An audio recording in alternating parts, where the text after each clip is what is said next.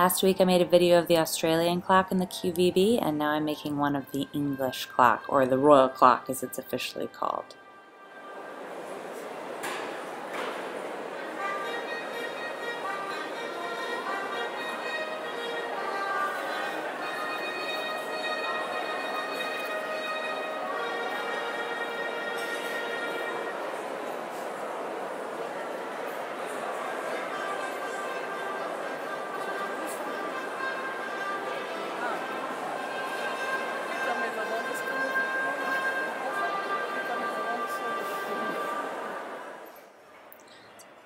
The royal clock is one of two large clocks suspended from the top level of the building. Above the clock face is a miniature castle with towers and crenellations and featuring the royal coat of arms. The clock was designed by Neil Glasser and made by Thwaites and Reed of Hastings, England. It features six scenes about English royalty.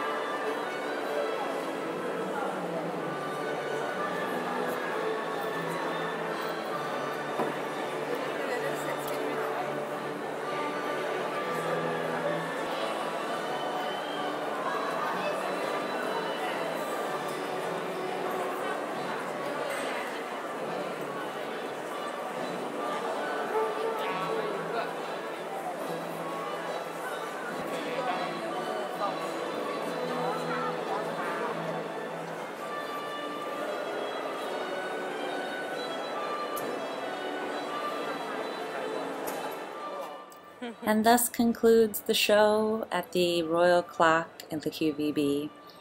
It's a pretty truncated history of England, but I guess it'll have to do.